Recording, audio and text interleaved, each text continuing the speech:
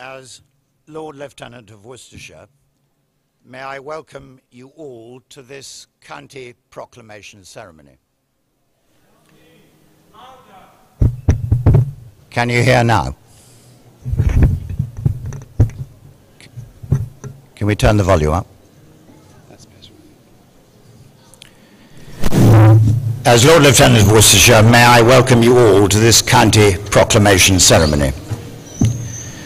Standing with me are the High Sheriff of Worcestershire, the Chairman of the County Council, and the Bishop of Worcester.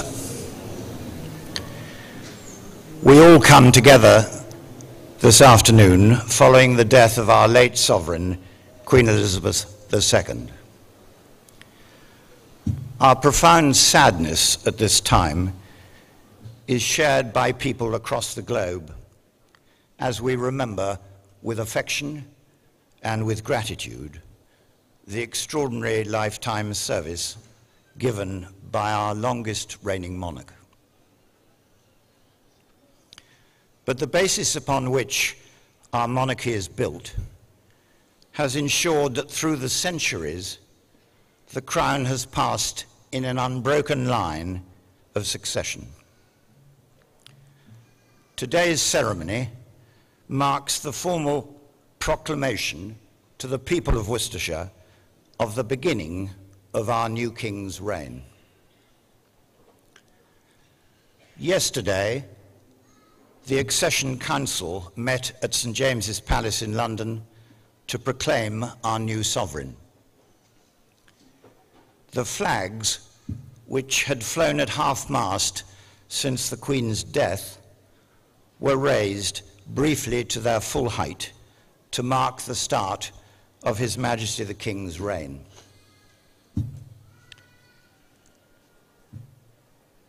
The Accession Council also made an order requiring high sheriffs to cause the proclamation to be read in the areas of their jurisdiction. It is that task which I will shortly call upon the High Sheriff of Worcestershire to discharge. After the High Sheriff has read the proclamation, the Bishop of Worcester will say a short prayer before we all join together to sing the national anthem. I will now hand over to the High Sheriff.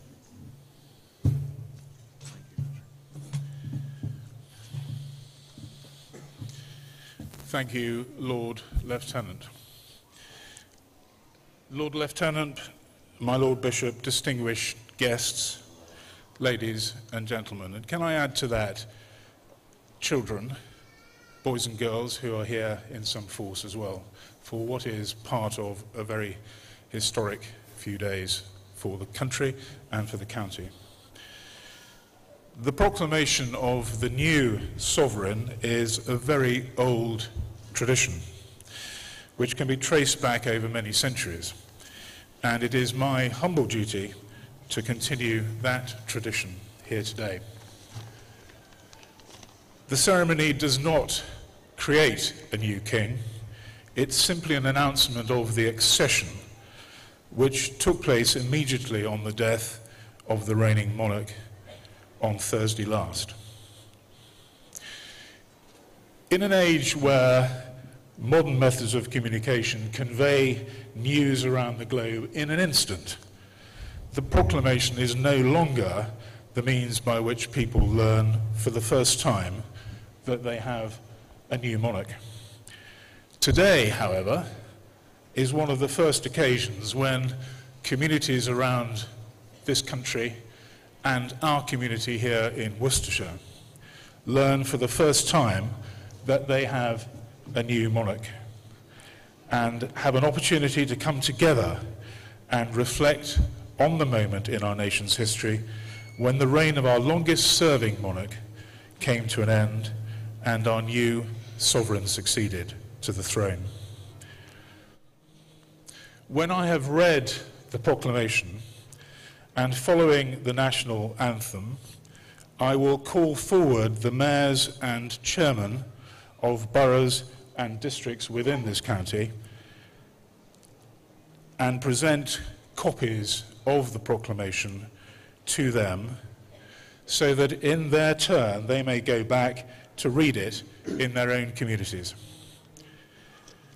Ladies and gentlemen, I will now read the proclamation.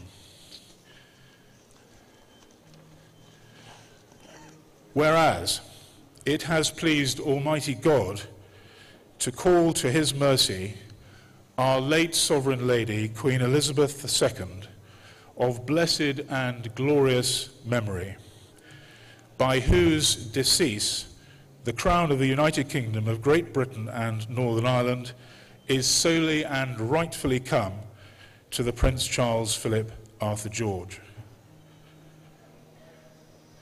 We, therefore, the Lords spiritual and temporal of this realm, and members of the House of Commons, together with other members of Her late Majesty's Privy Council and representatives of the realms and territories, aldermen and citizens of London, and others, do now hereby, with one voice and consent of tongue and heart, publish and proclaim that the Prince Charles Philip Arthur George is now, by the death of our late sovereign of happy memory, become our only lawful and rightful liege lord.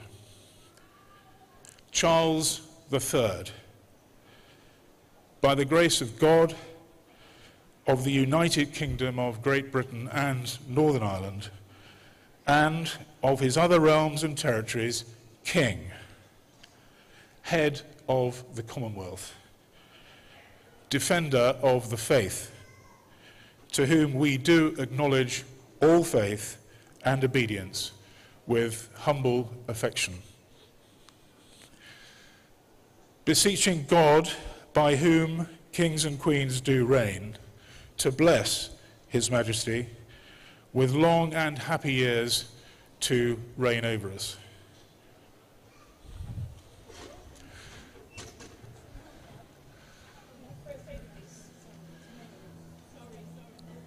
Given at St. James's Palace this 10th day of September in the year of our Lord 2022. I'm going to pause there because a lady has fainted in the front row, and do we have a paramedic?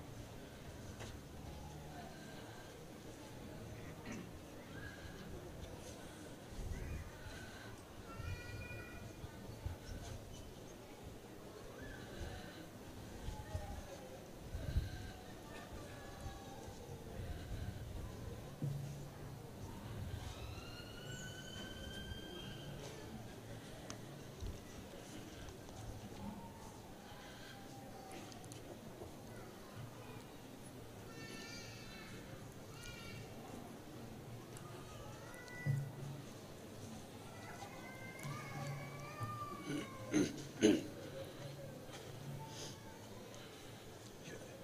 think we can go. Elisa, give me a thumbs up. Yeah.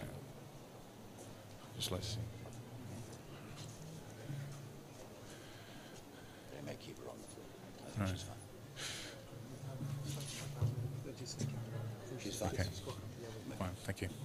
Ladies and gentlemen, I'm, I'm pleased to say that uh, the advice from the paramedics. Can't hear you. Uh,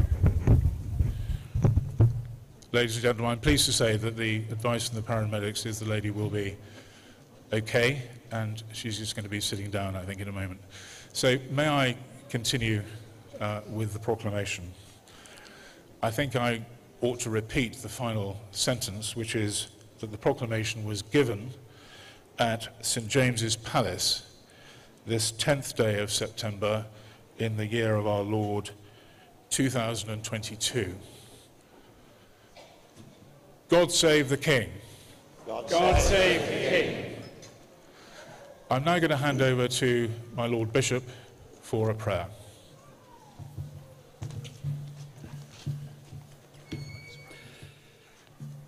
Almighty God, ruler over all the nations of the world and guardian of all who lead them, you have called your servant, our sovereign Lord, King Charles, to the throne of this realm. Guide him with your wisdom and strengthen him with your power. Let justice, truth, holiness, peace, and love, and all the virtues that come from you, flourish in his reign. Grant that all he says and does may be to your honor and glory and the welfare of his people.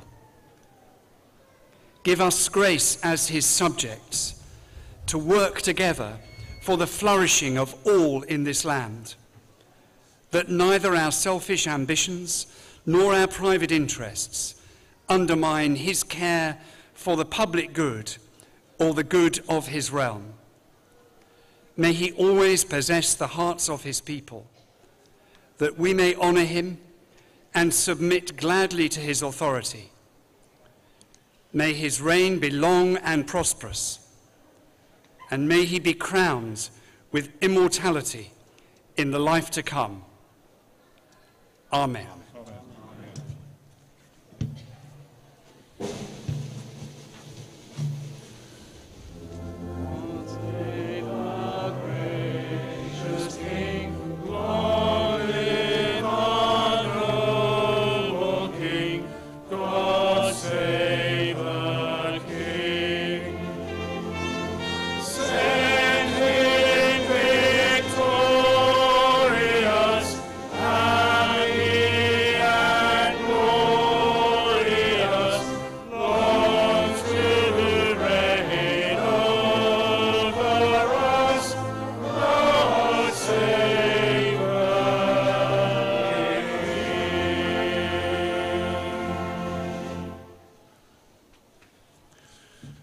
Thank you, my Lord Bishop. As I mentioned, uh, I would, I'm about to hand over the scrolls containing the proclamation to the uh, boroughs and districts. Before I do that, I would like to ask us all to give a Worcestershire cheer to the new king. Hip hip! Hooray! Hip hip! Hooray! Hip hip! Hooray! Thank you very much. So I'm going to hand now to each mayor or chairman of boroughs and districts within this county a copy of the proclamation I have just read, to be read in their own communities later today. And I will do so in alphabetical order. So can I ask please, firstly, the chairman of Bromsgrove District Council to come forward and receive the scroll. Thank you very much. Thank you. Second, the chairman of Malvern District Council.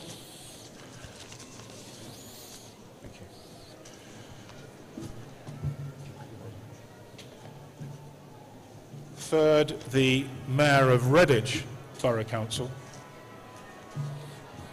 Thank you very much. Thank you. The mayor of Worcester City Council.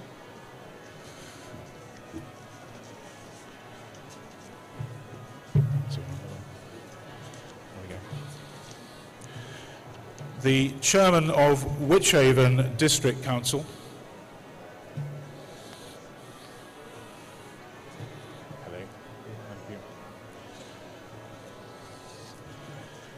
And finally, the chairman of Wyre Forest District Council.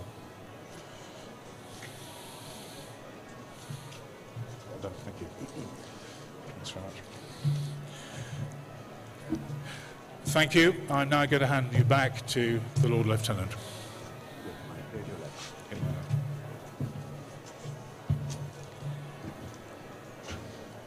Ladies and gentlemen, that concludes the simple county proclamation ceremony. For those of you who do not already know, our late sovereign's funeral will be at 11 o'clock on Monday, the 19th of September, in Westminster Abbey. There will also be a service of thanksgiving in Worcester Cathedral on Sunday, the 18th of September at 4 p.m. Everyone will be welcome. Thank you all for coming and safe journey home.